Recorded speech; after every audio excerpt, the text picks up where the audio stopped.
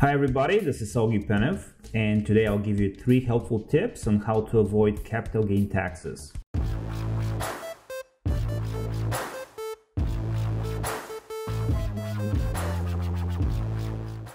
Right, so the topic today is how to avoid capital gain taxes, and uh, today I'm going to give you three tips um, how to do it.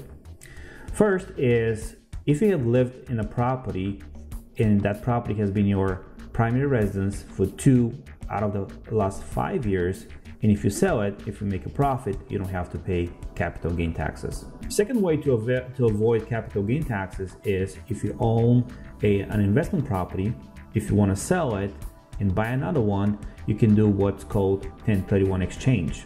So when you do 1031 exchange, you can use the profit from the first investment property and roll it into a second investment property without paying any capital gain tax. All right, so the third way is through inheritance.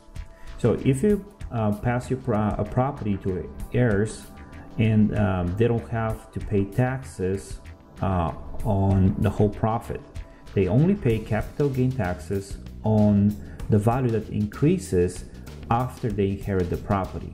Thank you for watching this episode. Um, just if you have any other questions about how to save capital gains, please um, reach to our office. I'll be happy to answer any questions we have, or we can put you in touch with a good tax guy so he can explain in details how everything works.